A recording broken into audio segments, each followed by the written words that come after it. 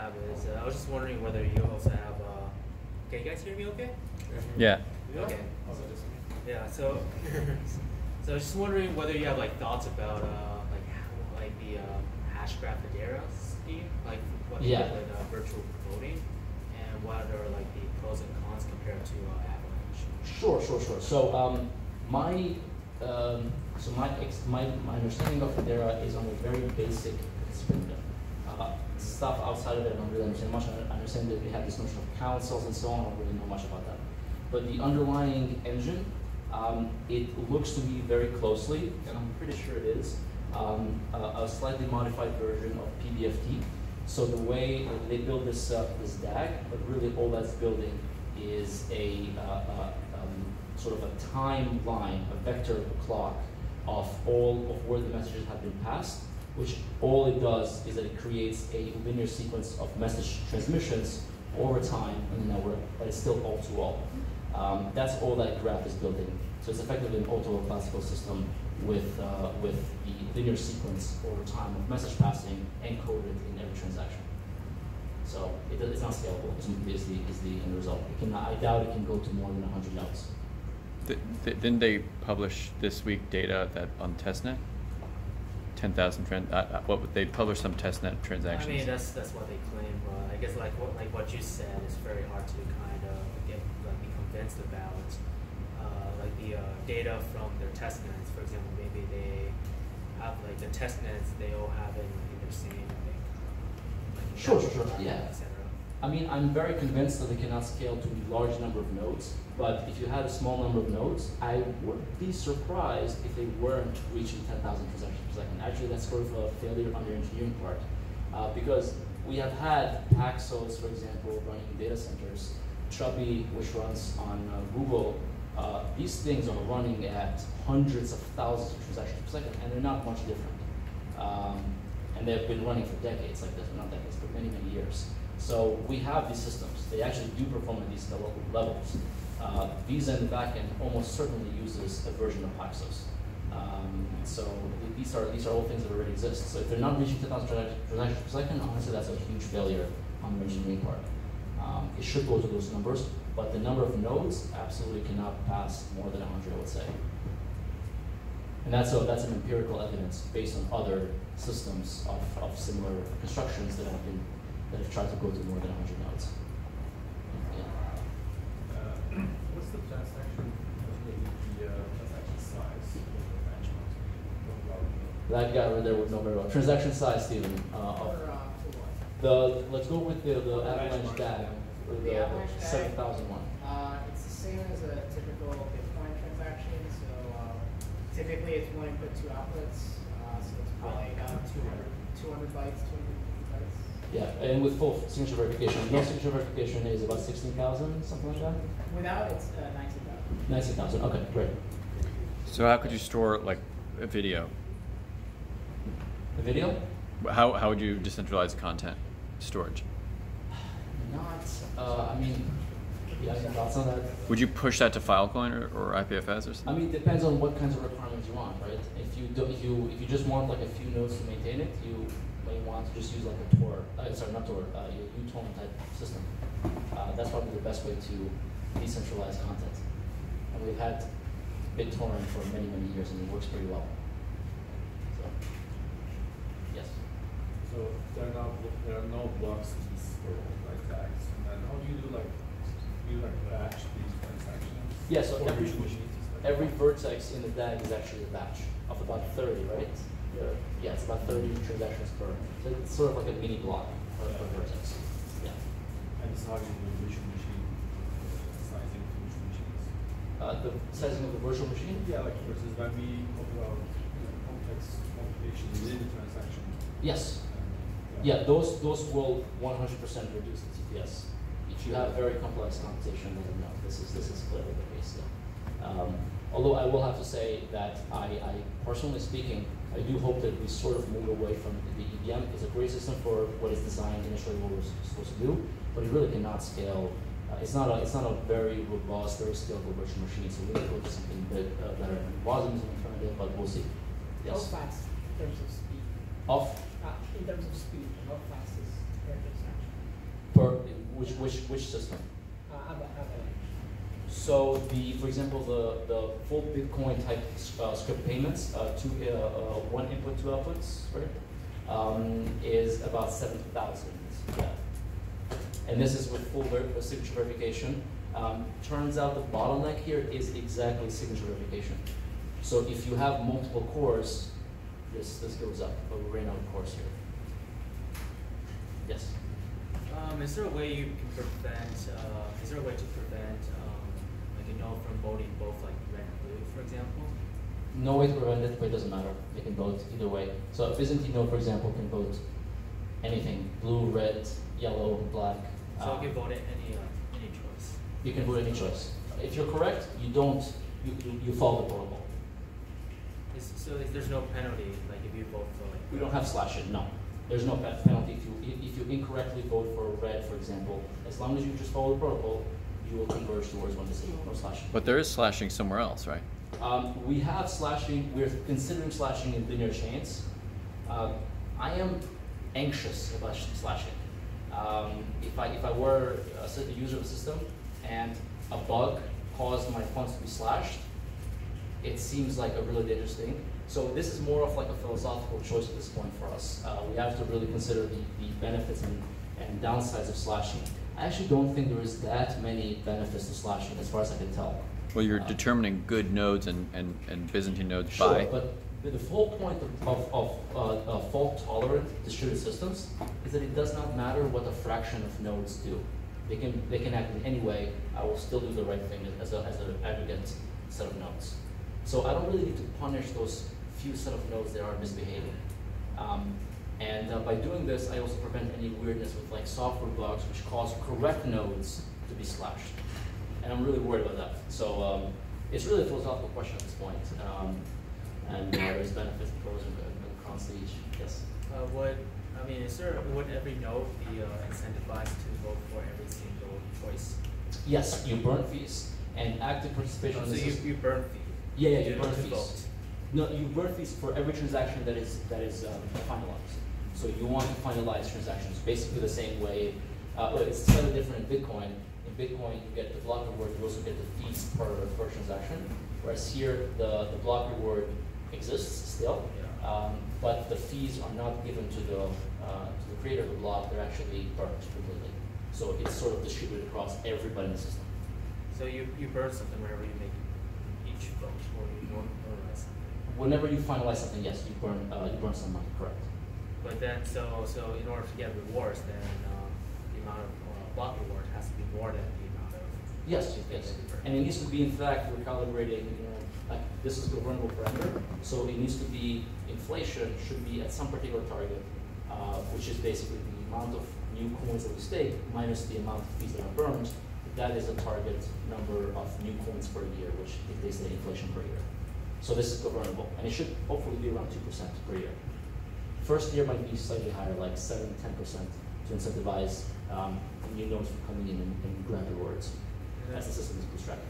And do other nodes, do they, uh, kind of decide when this certain block gets finalized, like what threshold, whether it's like majority or like two thirds, and then they decide to go to the next block? Effectively, our decision um, um, criteria is if you see um, a vote for, let's say, red, for beta, we have a variable called beta, for beta consecutive rounds, we finalize, and we give you a default beta. That's, that's all, that's the entire criteria. So you can, the higher this beta is, the, the stronger the guarantee is, but the higher the latency. This beer's gonna spill. Okay, Other questions? Yes? Yeah, yeah, Um, good, go, go.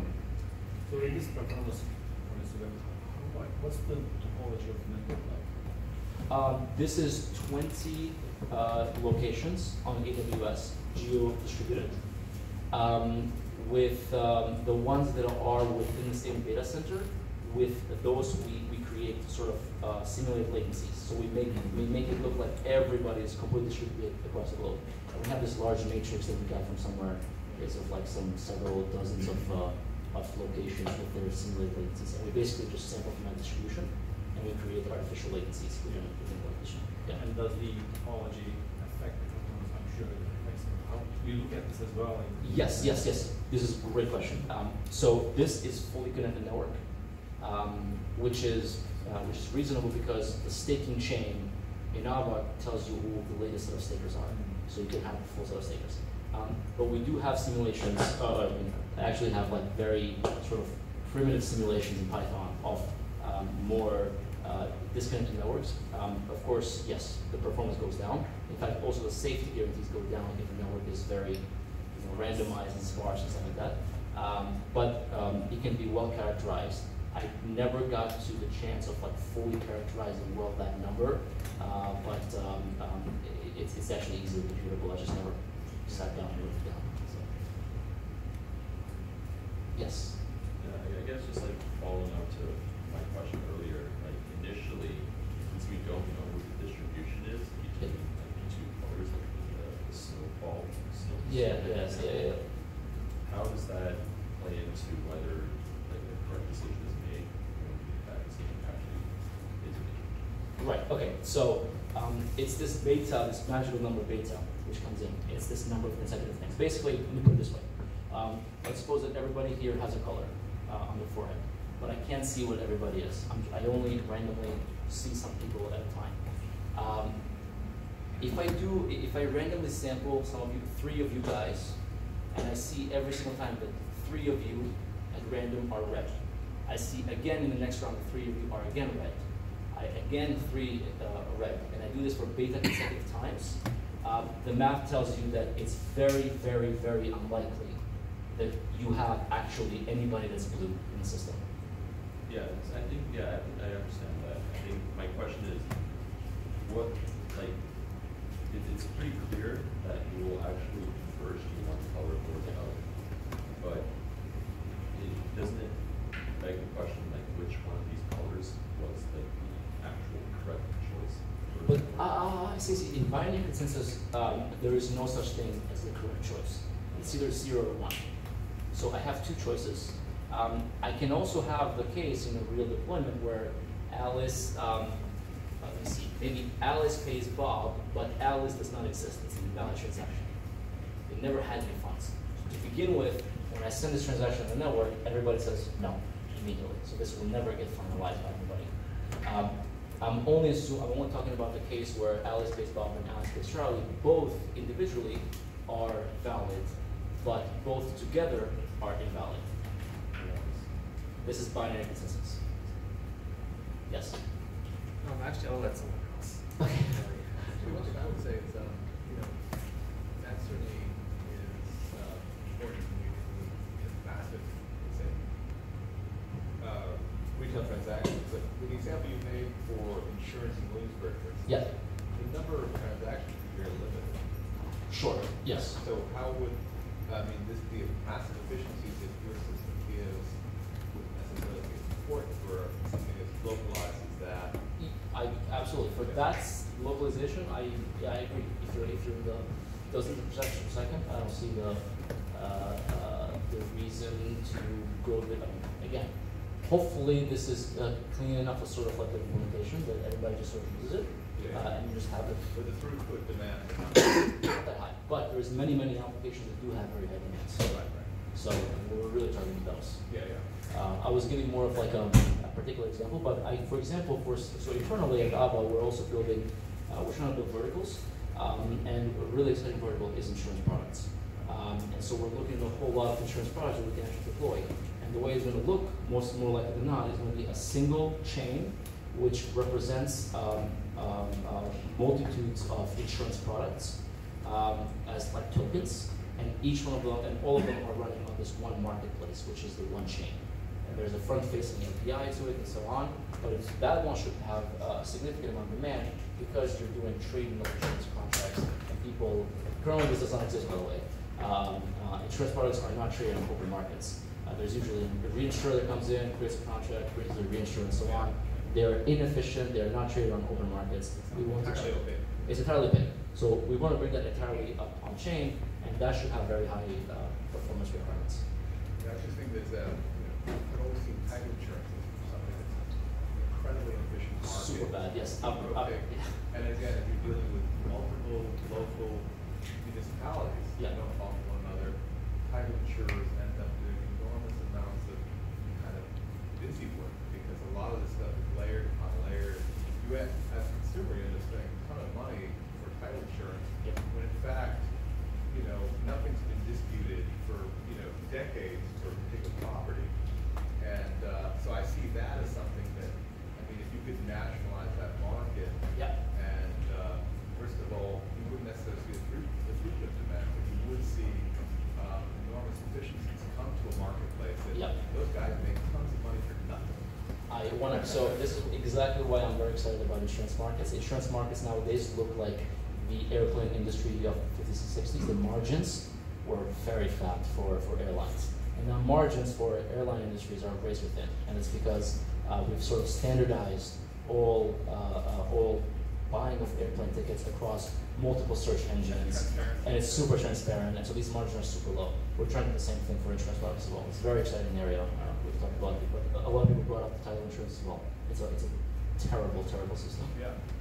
Yes. If you have a market where you need an order book, I would assume you need um, the synchronous snowman implementation as opposed to the asynchronous ava- avalanche They're actually, implementation? they can actually both be asynchronous and safe. They could. Yes, yes, you can make them both asynchronous and safe. Um, what that means is that if there's a network partition, nobody makes progress. I was just thinking more along the lines of, um, does that drive centralization because all of a sudden people try to co-locate or, you know, basically where you are in a network topography becomes much more important. Ah. If it's asynchronous and, and the, the ordering, well, I'm sorry, ordering actually works, but you're using an avalanche type. of Great, great, um, see, a great point. So, uh, if you happen to be uh, in a system um, where you're the leader uh, constantly and you accumulate all the words, that exactly would be the case. You co-locate, you become the fastest guy in the, in the space, sort of centralization towards you. Uh, rewards are not paid out to the leader directly; they're distributed across the entire staker set. So it doesn't actually matter for you to, to centralize there. I'm thinking more about the nodes that are actually proposing the transaction. So just think about like an equities order book today. I mean, it's some of the Ah, highest throughput you would Yes. need, but the synchrony is actually very important. So it's almost kind of the worst of both worlds. If you, if you, yeah, if you, um, this is a, so Phil Daian uh, wrote the Flash Boys. Uh, this is a great paper. Uh, he actually works with us on, on building some stuff on top of Lava. Um, yes, this is you know front running is a big problem, and it it, it, it incentivizes co-location. Um, if we build on-chain trading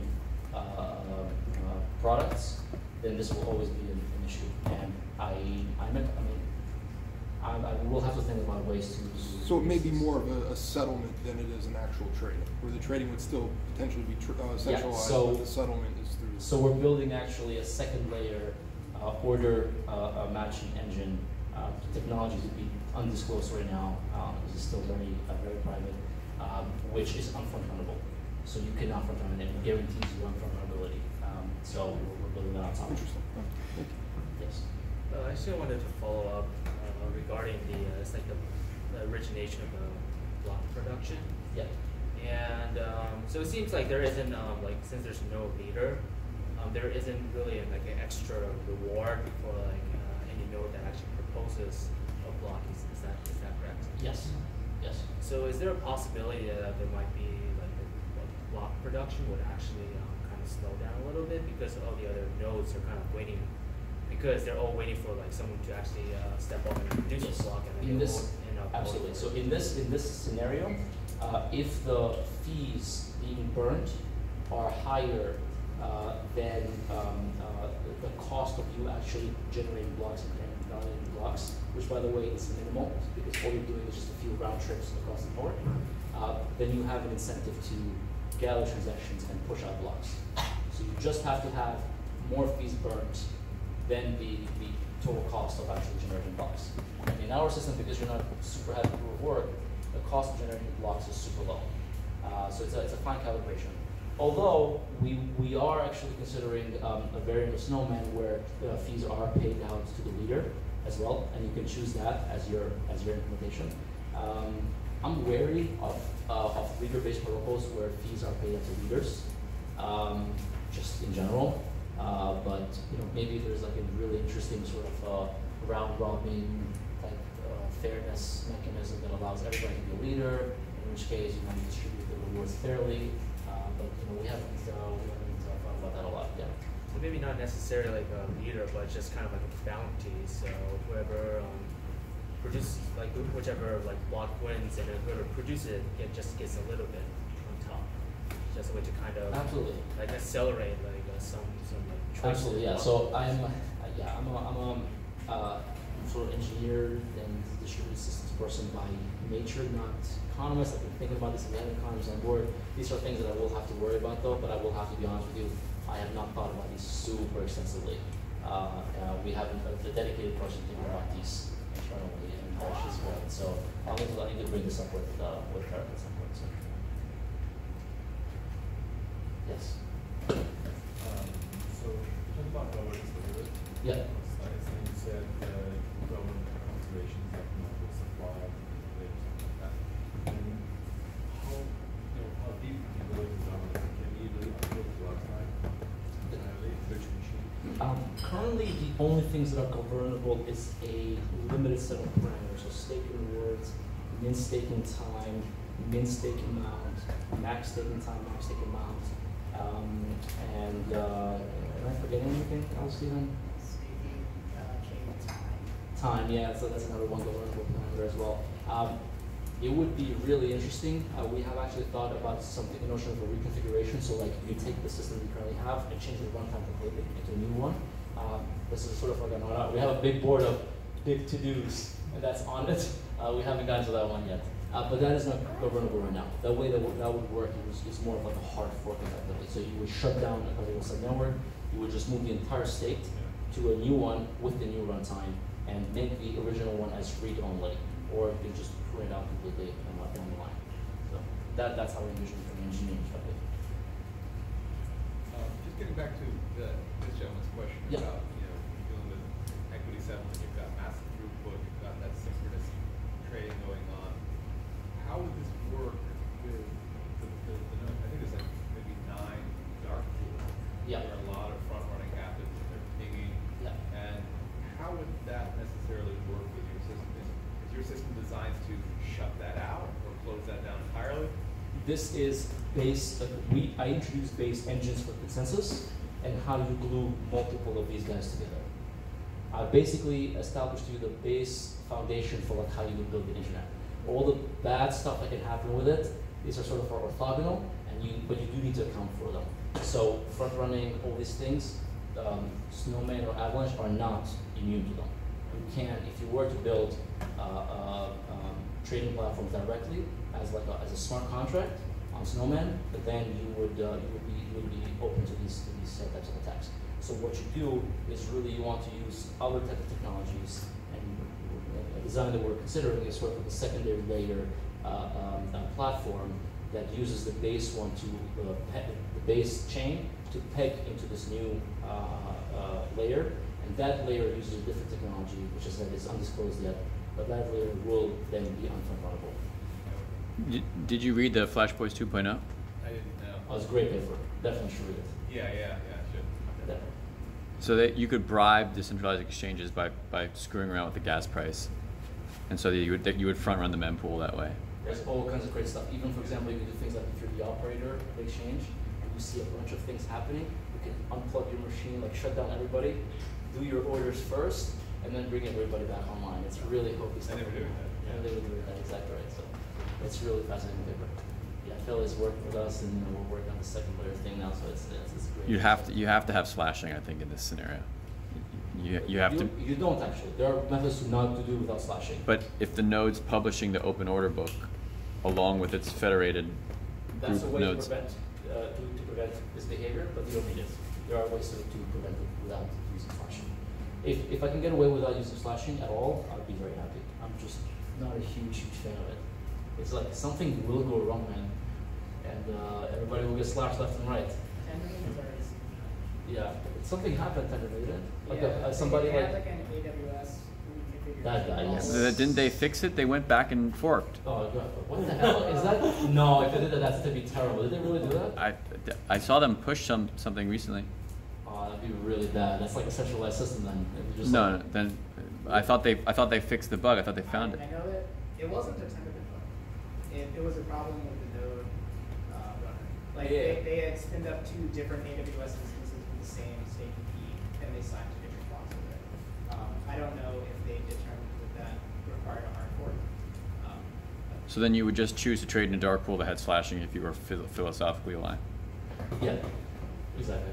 I mean, yeah, it's, it's, this is like a flexible enough platform that you could, somebody could build as a, as a plugin, like a chain with these kinds of things, and you can just start using those. So, I mean, the whole principle here is like, do not shove any restrictions down any developer. Everything is sort of uh, free uh, in the sense that you can play, you can build your own, bring your own functionalities, build your own networks, and uh, but also you have very nice and, and, and transparent guarantees of security. Like I actually know exactly how much like money went into securing the network. So I can choose sort of like on a sliding scale, do I care about having super high decentralization, which means super high guarantees of security and whatever it may be, or do I not really care? I can dial that down to just go to a small sub network and deploy my applications there. So it's like AWS but with a sliding scale decentralization for like built in. Yes. I have a question that's not related to the consensus protocol. Sure, sure. Um, what do you have out there for developers looking to start playing around with the network? Yeah, so So, so we're working really heavily on our uh, RPCs right now. Um, so just today, Mac, we've been working a lot on the EVM uh, support of the RPCs. And so, uh, so we're hoping to support essentially all of Geth's uh, RPC calls uh, with the prefix. So we're working on that right now. Um, for our own like Ava platform, we have our own RPC calls, and uh, we're, we're working a lot on that with some like graphical vaults and things like that. So this is a very active area of work inside the company on but that's kind of the area that we're at right now. But we're not, we're not very far from just wholesale importing Ethereum smart contracts uh, in- into it, like an Ethereum, uh, into an Ethereum um, uh, word chain, chain. I, I might say that that is done, but that might be. Okay, but It's very close. let's say one week, we're one week away from, Yeah. for actually you being just able to bring in your smart contracts directly, your Ethereum smart contracts, and just run them on chain immediately. So that's ready. Uh, but as far as developer needs, any, is a brand new Trust. Ethereum smart contracts? I mean, look, I, I do realize, so I've, I've taken some positions that are questionably judgmental of Ethereum on Twitter, and I've been burned for it, and people keep attacking me. Um, like Ethereum trolls keep attacking me. I actually do love uh, Ethereum, I really do. I've been a fan of it for a long time, but it has a bunch of pokey stuff in it. Uh, and uh, the Ethereum virtual machine, it, it does what it does, but it's not really. I, I, don't see it surviving long term as like the bytecode that we use. Like it's just not the right one to be able to be it's kind of scratch it off and uh, and something else. So uh, um, we want to support backwards compatibility for developers. This is a big principle. Again, we like it's all about developers, giving them the flexibility, giving them the backwards compatibility, allowing them to go wild with their ideas and to build sort of anything they want. And part of that is allowing them to uh, be back to support everything we have already directly into our platform and get the high throughput and low latency and so on.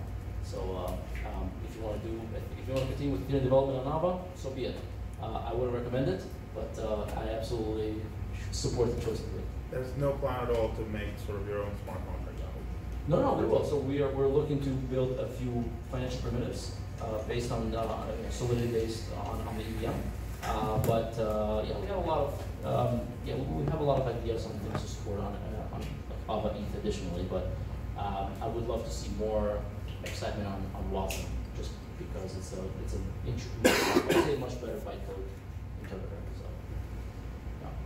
Well, they have uh, EWASM coming up as part of their plan. Yes, yes, um, excited for that as well. Anything besides EVM, I think they're they're aware. Yeah, yeah, they know, they know. Uh, it's not terrible, but you know, like, you just can't go very far. So, cool. Short question from, or two questions from me. Yeah. So right now we're at the private testnet stage, right? Yes. When is public testnet stage opening Uh, we have an internal deadline very soon, in what, a week. Uh, but we'll see if we meet that. Uh, but we actually are ready to just sort of, so the, the, the AVA testnet is not necessarily going to go live, but we will have uh, the EVM support, like actual, all of these chains of up and running eh, very soon. And so they should look basically undistinguishable from uh, Ethereum to all developers. So these will be public and the source code and the code base will be loaded then, like in, in a few weeks, probably. Yeah, and I basically see uh, two, two strategies. One is making it very easy for uh, current blockchain developers and Ethereum developers to port Yep. things to Ava. Uh, and the other one is making it as flexible and easy as possible for entry-level blockchain developers or normal I blockchain would, developers. I would probably say this, the best knowledge that I can provide to this, um, or one of the best ones, is sort of, what we currently have is Windows of 2000, and then what we're really trying to build is a sort of hack your own operating system, the same principles that Linux provides. Linux, you can change anything you want. You can build it, you can, you can hack with it, you can change the internals, you can extend the functionality. As long as you know what you're doing, you can do whatever you want. In these existing systems that we currently see, like blockchains, it's like a very sort of fixed architecture. You can't change anything. The same way that Windows, I think Windows still nowadays is basically unchangeable. Um, so that's really like the target uh, that we're going after. It's like it's like super hackable uh, blockchains that are, that are that are you know as long as you know what you're doing, be building way more complex things that are currently available on Ethereum at much higher speeds. So it's faster, more flexible, uh, and, all that good stuff. So that's the that's the, so it's I want to say necessarily easier, but it's definitely much more flexible. Do you think on top of Ava there will be like middleware tools, suites Of built course. on top that will make it super easy? Absolutely. Although, to be fair, this is not exclusive to us. Other people will do this as well. Exactly. But we will, of course, spend considerable resources to, uh, to make it very easy for people to use. Uh, so uh, we love, you know, fast go-to markets. We love just using already existing things and just putting more. We don't want to build our own new things. So we are ready to give with my Ether wallet, my Auto wallet. We have uh, several. We're, we're looking at several other integrations. So uh, I think it should be a pretty good user experience pretty soon. So. Good. Just one question for the audience. Is there someone who is super, super skeptical by nature and wants to express that? Yet skeptical, and why?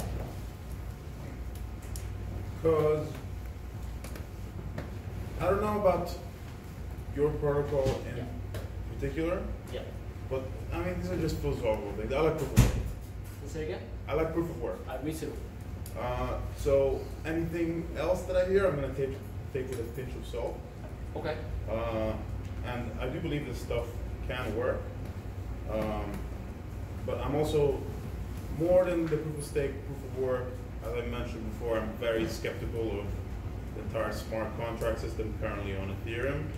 Um, and just like if you look at the past of you know any sort of errors that have happened in Ethereum, money being lost, money being taken, it's mostly due to inherent problems in the programming language itself, like reentrancy attacks. Uh, like, do smart contracts need to be Tur- smart contract languages need to be Turing complete? Because how much do you actually, as you mentioned before, like a lot of operations you don't actually want to be doing Yeah. on a blockchain. Yeah. So why do we need a language that allows all that stuff to actually happen and potentially can't we just like cut most of the mistakes in that way? So yeah, so some of my team members um, have a bit like you know, conflicting view from yours. I tend to conflict with them, so I tend to be more on your side here. Um, uh, I mean, the whole notion of Ethereum is like the world, like the world computer, Turing complete, and everything.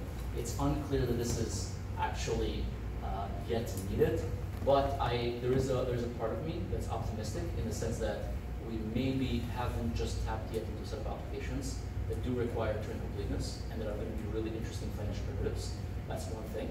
Um, and the second thing, I mean, you have to give it to uh, Ethereum. Uh, um, they've made mistakes because technology is new, but uh, you know they've come a very long way, and so it's an exciting area. Uh, and I, I think it's hundred percent respect. for yeah, yeah. It's, you it should be. It should be. We should all be skeptical of all the technologies, especially Ava, because it's very much untested. Um, we, we make a lot of claims and we try to back them all up, but ultimately it's not as tested as Bitcoin. Bitcoin is at 10 years now of testing. Uh, so you should be skeptical of everything, but uh, new technologies, or rather better technologies than Ethereum, let me say this with 100% confidence, do exist. I am, there's no question about it. They need testing, but they do exist. And uh, I don't know if Ava is one of them, but I am very confident in my engineering, my knowledge of distributed systems that do exist and they're possible. Uh, so yeah, Yeah. Yeah, so one interesting uh, thing about that as well is because of our subnet structure, if you don't trust Ethereum, if you don't trust their like the smart contracts to be operated correctly, you don't have to validate for them. You can choose uh, which subnets to validate for. Yeah, exactly right. Uh, and so the only uh, real key things that you have to validate is the core Ava DAG and the core uh, staking chain. And aside from that, you can kind of pick and choose what you want to validate. So if you don't like, say, uh, eWASM or you don't like, you know, uh, you know the EVM or whatever, uh, you can choose not to. You can also build a subnet with proof of work chain on it. You can also build a sub. It's so flexible. You can actually build a proof a subnet with proof of work in it. Uh, it's, it's that flexible. You can hack out basically anything you want. And then run whatever smart contract language you want on top. Whatever smart contract language. on it. That's Exactly cool. right. So it's just super flexible. It's basically like an interoperability play as well. directly. And the E- the AVA virtual machine, the baseline where everybody uh, simulate, um, replicates, it's super simple. It's just basic payments. It doesn't shut down anything else. So it's bare bones stuff. It's very lightweight, and it's just basically to allow peer-to-peer payments. That's it. Nothing else. Everything, all the other additional functionalities, you can add them on top into some networks with their own virtual machines and so on. So it's uh, it's by far the most like what I like to say, it's by far the only system that I've seen that shoves absolutely nothing down anybody's throat. It's just very, very sort of transparent by itself.